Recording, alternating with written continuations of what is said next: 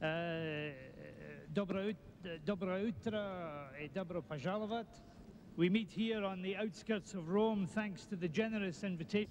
Мы надеемся, что отношения с НАТО у нас и дальше будут расширяться, будет улучшаться качество наших отношений.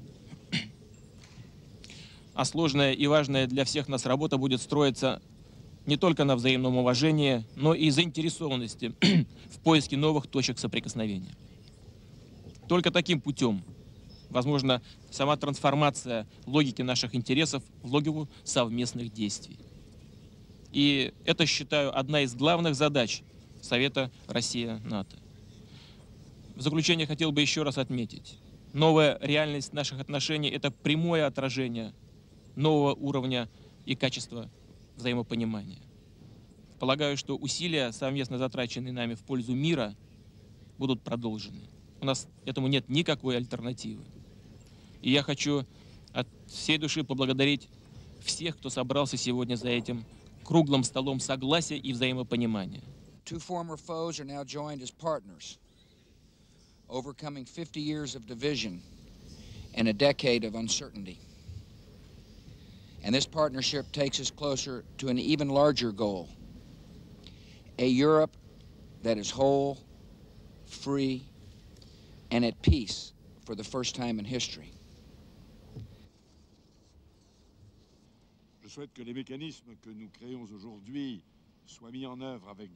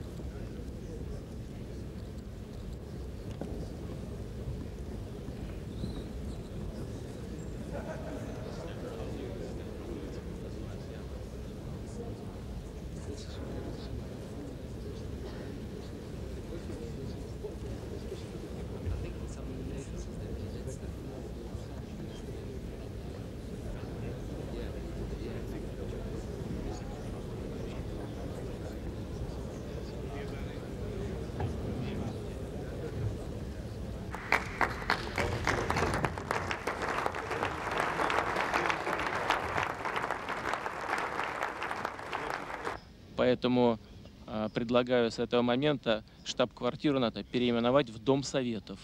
Думаю, что это неплохое предложение.